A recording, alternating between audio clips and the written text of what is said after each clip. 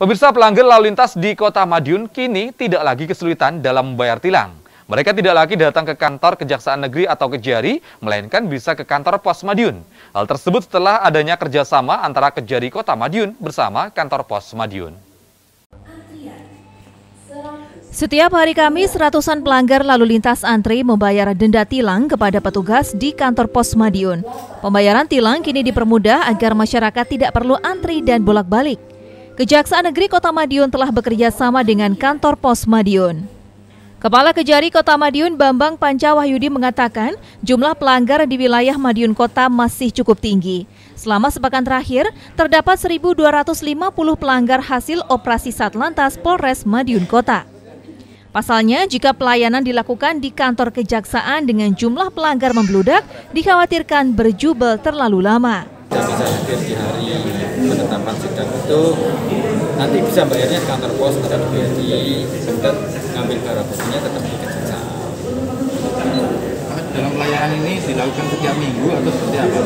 Ya memang sidang tilang kan setiap hari Kamis. Setiap hari Kamis.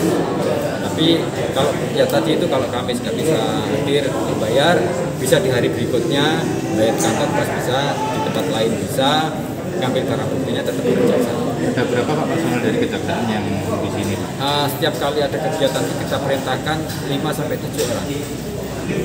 Mulai dari depan uh, yang mengatur, kemudian administrasi.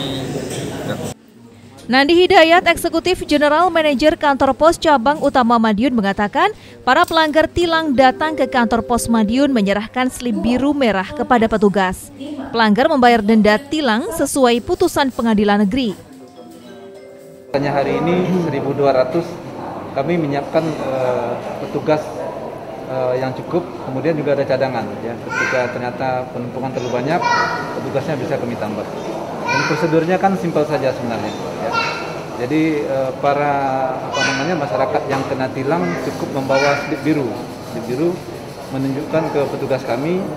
Kemudian uh, dari kejaksaan kan dapat ID billing, ya langsung setorkan uh, berapa yang harus dibayar Kemudian dari pihak Kejari sudah menyiapkan petugas langsung diambil bukti tilang, bukti tilangnya langsung diambil.